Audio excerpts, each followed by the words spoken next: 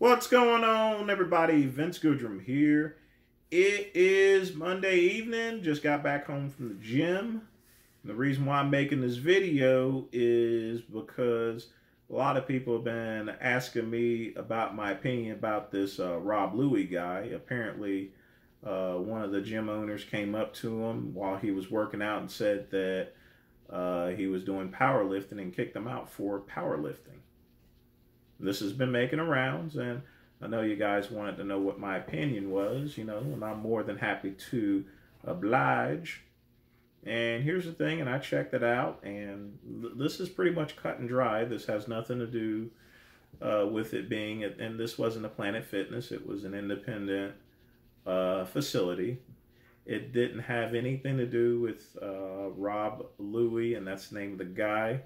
I don't know him personally whatsoever, so uh, he appears to be a very strong person. I looked at a couple of other videos. He's up there dead. He can deadlift and squat like a motherfucker, you know. Uh, it didn't have anything to do with him squat, I mean, grunting or throwing around chalk or anything. There was no chalk. He wasn't grunting. He wasn't slamming down the weights. Simply put, and I'm just going to rephrase the same thing the owner's other brother uh, pretty much said is that his brother is an idiot. He's a fucking idiot. He's a head case. And apologized to Rob. But Rob had already went and found another gym, and I'm sure that his friends will come along with it. And because of all the uh, the story, I mean, because of this story has actually got legs on it now, they're gonna lose a couple of other. they're gonna lose a lot other members as well.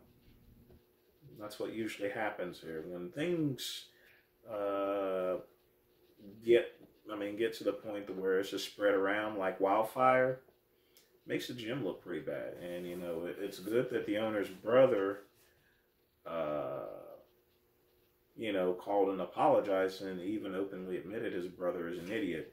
But this brings me to another point. This is the reason why gyms should hire gym managers here. You know, people that are trained to not only handle memberships but also to perform the operations of a gym. You know, now if the gym owner has that training and he has the experience, that's one thing.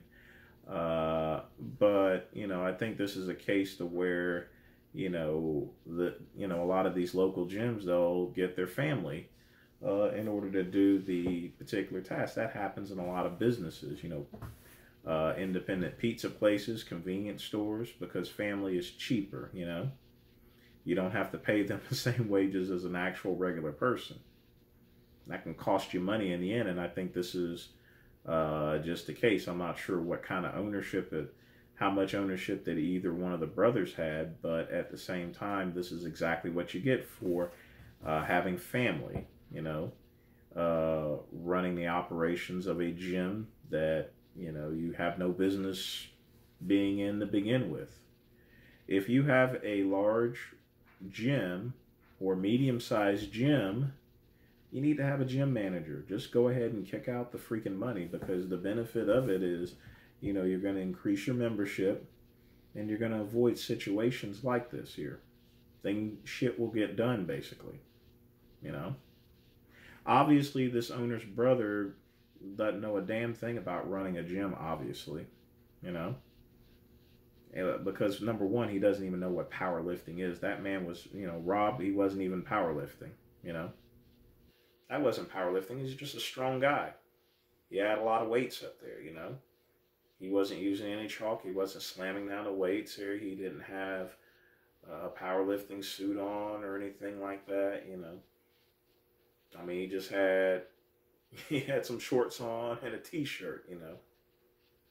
That's it.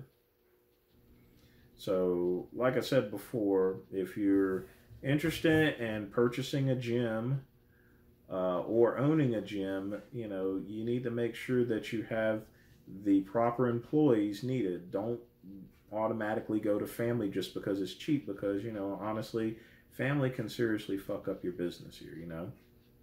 I've seen this stuff happen all the time, and not just gyms, but also at mom and pop stores, convenience stores, and stuff like that. You know, when you hire family, you know, you're pretty much asking for all sorts of things to occur because you know while you can not pay them as much at the same time you know uh, firing or get rid of someone in fa- in the family you know it, it's it's not the same as a regular employee there if they screw up just saying so that's my honest opinion about it uh, that's pretty much it uh, that's all I got to say on this matter. It's just cut and dry. I mean, dude's a fucking idiot, you know.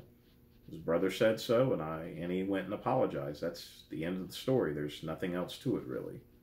You know, it's not a black or white thing. It's just that dude was out of his league and he doesn't know how to run a gym. Perhaps that brother should go and you know hire a gym owner, take advice from the great one. But yep, that's it. Uh, don't forget, people, to like and subscribe to the Vince Goodrum channel. If you like this video, smash that like button for a brother. Okay? Peace.